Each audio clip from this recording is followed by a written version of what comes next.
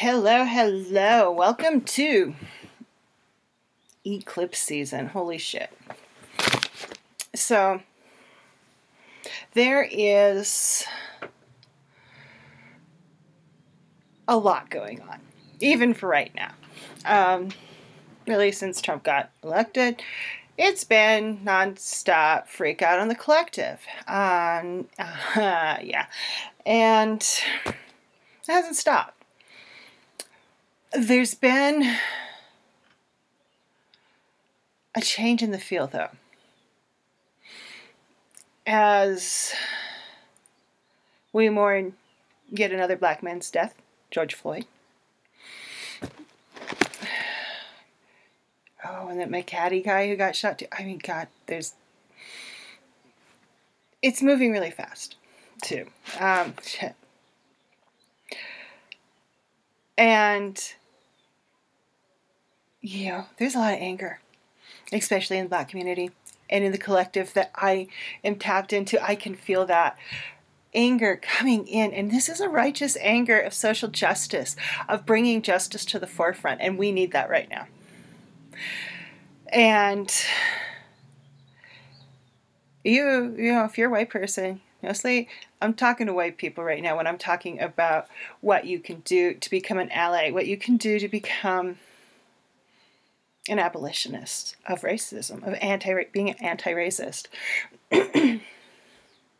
Got the privilege to step back. Black people don't have that privilege. They don't ever have that privilege. Every day they go out and they're black. They don't they just can't not deal with it. And we as white people need to remember that. And we need to honor their anger because, sorry, not if you're not angry about people dying, about black people being targeted, that white people drive around guns and think they can get out of their vehicles and shoot black joggers, if you're not angry about that, because you're too worried that, oh my God, I'm going to lower my vibe you got you really need to look at look at your white privilege and your racism and your biases. We as white people need to know this. We need to know where our flaws are in regard to race. And I feel like this eclipse season has two very strong aspects. One is the internal aspect, especially for people who need to do the work. Do the freaking work. It's worth it. I've Been doing the work about my bias, my racism, since I was a teenager. Because I realized that the religious prejudice I faced as a teen in 1980 Salt Lake City, Utah was a tiniest, tiniest taste of what black people, Latinx, people of color, Asians go through every fucking day. The tiniest iota is I experienced with Rachel with religious prejudice tiniest bit. I was still white. I could still blend in in homogenous Salt Lake City, Utah of the 1980s because I'm white. It's once sometimes throughout that period, once they found out I was Mormon, there was some weird shit. And one of my biases, yes, one of my main biases is towards the Mormon church, still to the LDS faith, for how they tell people talk to people about non members of people of other faith. That's a whole nother discussion. it, right now, we're dealing with African American populations, black people who are being targeted and killed, not just by police anymore, but by citizens, and this is not okay. So you have this external aspect, and you also have this internal aspect if you're a white person, because you need to deal with this. And the external is how do you move, once you started to process that bias and your racism, how you move out of that and into allyship. It's a process, you know, don't just be like, oh yeah, I did the blackout Tuesday, it's so awesome, give me a cookie. Do not expect a reward. Do not expect a reward for this, for doing the right thing. you do it because it's right. I worked in nonprofits after I got up, after my second federal college where I graduated, and I was working with very closely with one lady, and I was working for the Catholics at the time, and you know, she asked me why I didn't identify as um, Christian. I was raised Lutheran. I'm like, I don't I, as far as I, I don't know, Jesus Christ died for my sins. I don't know. I don't really feel that way. It's not my basic tenet of belief that this dude died for my sins. And I told her that. And she went, oh. And she's like, well, why do you do this work? Because part of being a good Catholic is doing good works. And I'm like, it's the right thing to do. It's the right thing to work with refugees that need help resettling in this country to find safety and security. It's the right thing. Why do I need a God to tell me that? Why can't I just as a person be that? But okay. So now that we got that part of eclipse season out of the way. Do the work, people. It's worth it. And you will always be doing the work is the tr- If anyone says you they're done with it, they did the work. They haven't. They're not done. They're already into into denying it. And if you're thinking people just need to think really good thoughts, and your racism's going to go away? No, we have to change the systems. We have to change the practices. We have to change the school systems and how we teach people. I didn't get nothing in the 70s and 80s. By the time I made it to my second round of college, black people, women, we all got a paragraph. I think Native Americans might have been on the same half page too. We all got like these really small paragraphs on the same page, and I think there was a picture on top too. So it wasn't even a full page. So let's get into the reading. So we got a full moon, lunar eclipse. I can't remember which freaking moon this is. And Llewellyn went AWOL. Hmm. Yeah, the Llewellyn's calendar, I found, uh, hold on. It's big. It is hiding all the time. Make sure I'm in the right month. So that is I'm not very good at astrology. Sagittarius. I was remembered correctly. So it looks like we're in Sagittarius. Mm-hmm, mm-hmm. Full moon Sagittarius. Lunar eclipse. And a whole lot going down. Doing the inner work right now can help you prepare to do the outer work. And everyone is starting in a different spot with their work. So you got to start where you are. You can't start where I am. You can say, okay, I you can get ideas from you know people who are further down, down the line.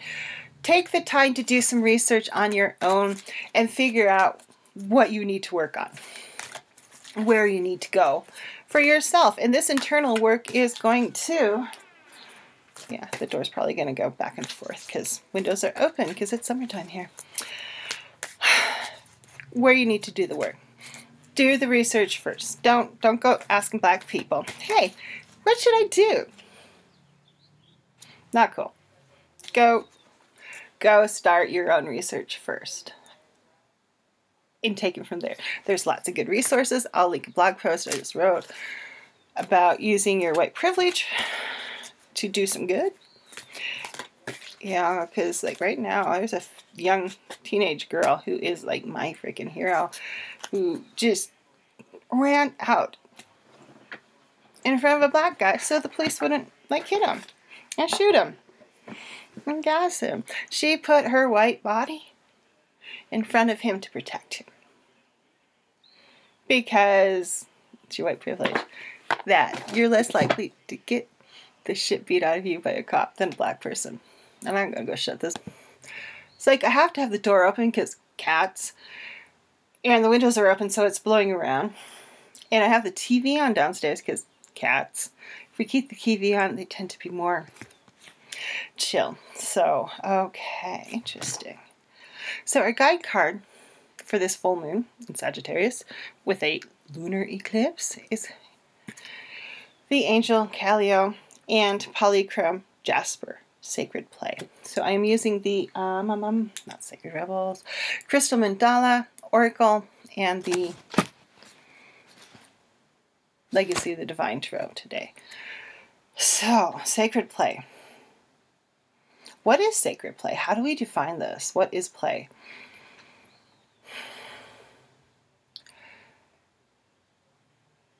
And I feel like this is so there's level playing field is being said over and over again. How can we all be able to play safely? How do we work towards a society for the betterment of all of us? Work towards a society that supports every single one of us equally so that we can be sacred, that we can go out there and play. That all of us, black people, Asians, Latinx, Native Americans, all can feel this. How can we all feel sacred? And I feel like play in this context is the aspect of play of having fun and enjoyment. And also this aspect of how does the sacred come into play in our lives and how do we use that sacredness? Being an anti racist is a spiritual practice. How can that be part of yours? How does that become sacred?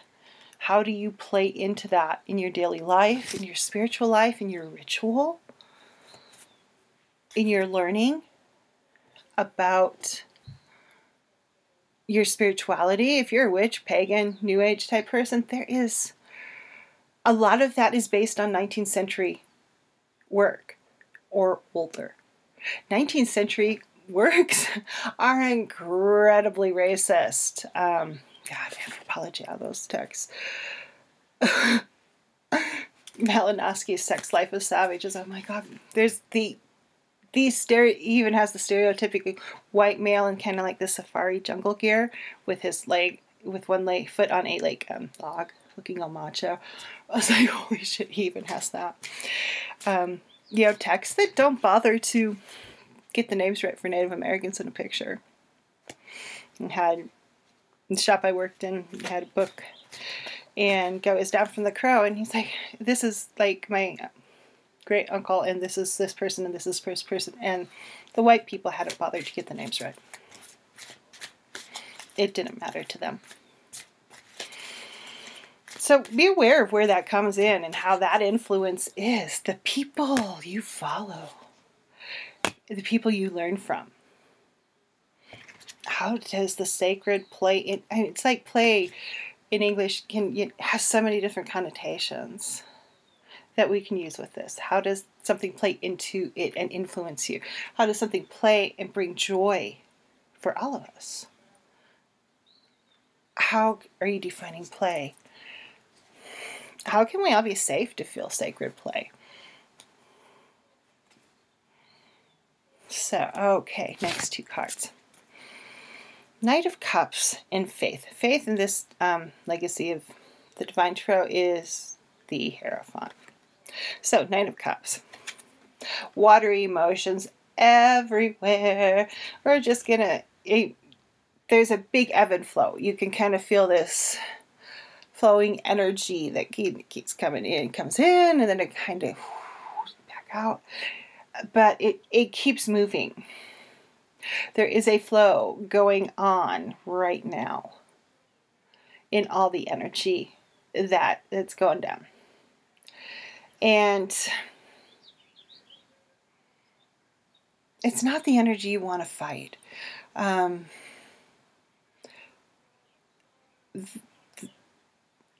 how do I explain this? This this is the the Knight of Cups is representing the energy you want to support. This is not the energy of people being racist and things like that. This is the energy of the people fighting the racists. This is the anti racists. This is the black people. This is the energy of that movement, of how are we being inspired to change, to improve the world, create new systems that do not oppress people because you know the thing is when at this level of oppression we're at in the United States you're seeing pictures that you know typically you'd be like that's a different country Washington Monument with military surrounding it. It's, it's not who we want to be. And this is that energy. It's like, this is like, we know who we don't want to be. We may not know exactly who we want to be when we get to the other side of this because there's a lot that needs to be dealt with. There's a lot that needs to change. There's a lot of systems that need to become anti racist. And yeah, I just seriously support this energy in your life, how it's showing up. So the next one is faith. And this would correspond to the Hierophant in other decks. And I feel like this is the faith and the hope that we keep going. That a lot of people kind of interpret this card as the status quo of dogma and doctrine. And really, for me, the epitome of the Hierophant is Yoda.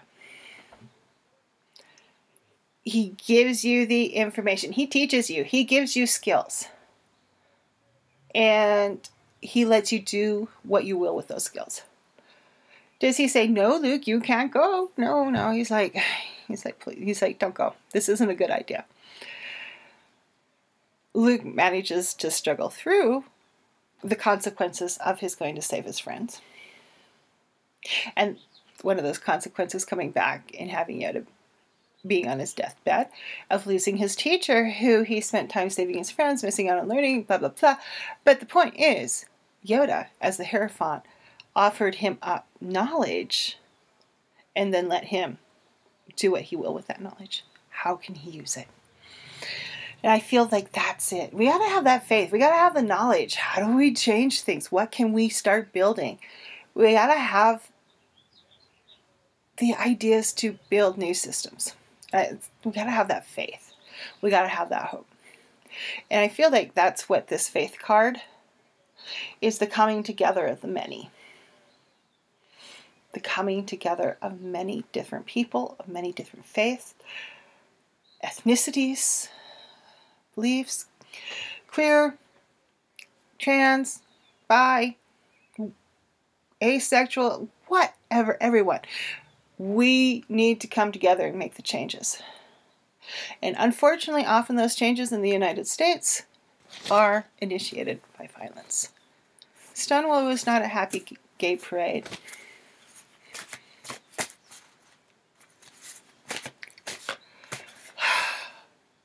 John Lewis didn't have a good day, and he, I mean, they, you know, when they almost killed John Lewis during the civil rights movement. I mean, we have 400 years of black oppression in the U.S. And around 158 of those with black people being allegedly free. And I feel like if we're not willing to do the work this eclipse season to apply ourselves to the world, especially white people, we're failing.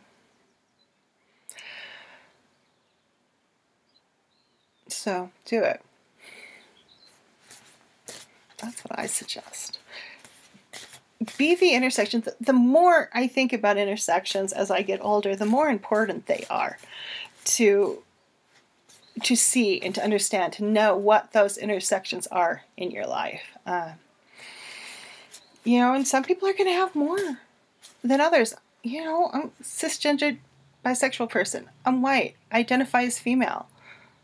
Um, you know, it it just is. It's not. You know, those are my intersections. Those things that come into my life, and really, it's like I don't really talk about being bisexual because it's just kind of like being a reader to me. It's always been there. and I don't really think about it, and my parents don't care. I was the kid that brought home gay kids who got kicked out of their house. So, um, but I'm realizing as I get older that that intersection of my sexuality is really more important than I ever thought it was. Or really felt it was. I mean, just is. It's just who I'm part of. And just is. Um, and maybe that's because I do have acceptance from my parents as a witch, as, as just being me. Um, so it was just whatever in my life. It's just accepted. There's a, yeah. It's like um, Wes Johnson. This is going to be a really long reading. I like have like two or three segments. Like in high school, Wes Johnson, were like one of the worst vice principals ever. Um, yeah, he told my parents if I was just be like everyone else, and they're like, "Wait a minute, we're trying to raise an independent adult who can think for herself, and not just be a lemming going over the cliff." So yeah, I don't know. I'm starting to ramble. But the intersections, intersections are important. Where are your intersections? Who can you, who do you intersect with on a daily basis? Are you following people who are black, people of color, LGBTQ? Do you follow any trans people? Bi, queer? Where do your intersections come from? Where are they? And if you're lacking them, how can you find them? So let's get a um, card here. Speak truth. Ha ha.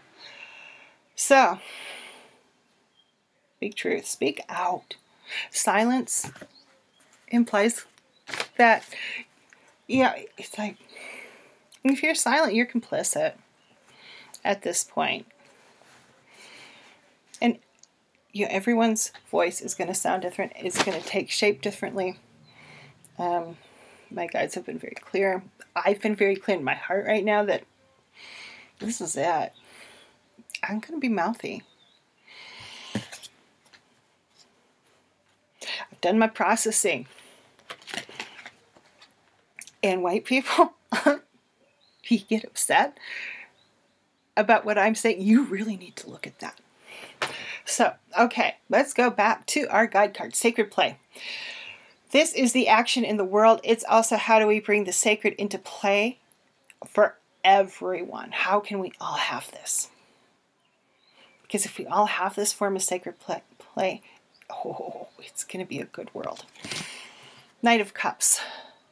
It's the really strong emotions, the anger, the action, everything that's happening right now is embodied in this Knight of Cups. And it may feel like a tidal wave running you over, but go with it, write it, use it, put it to work for yourself because faith is here and it resides within us and our actions. So go out there and vote, people. I voted. And someone I actually like won a primary. I'm like, I think two people did. I was like, and when I vote, you know what I look for? I look for intersections. So I was looking at one guy. And I'm like, yeah, you're okay. When I vote for you. And then I got to his bio and he's like, Salish. I'm like, mm, he just, he gave me the intersection I was looking for. He's a Native American. I'm voting for him. I tend, I uh, look for those intersections. Women, people of color, Native American, black, whatever it is, bi, queer, blah, blah, blah, trans, all those things. Look for those intersections. Because in faith, we can bring hope to everybody. And we can speak our truth and feel safe to speak our truths, which is very important right now. To have that safety built into systems from the bottom down and the bottom up everywhere in between. Okay, I know this is a really long one, but go out there and be the love in the world. This Speaking out and being anti racist is part of being the love, it is part of a spiritual practice. How are you going to show up today? Have a wonderful day and go out there and be the love. And, ooh, okay, we got two more eclipses to make it through. I know we can do it. Bye bye.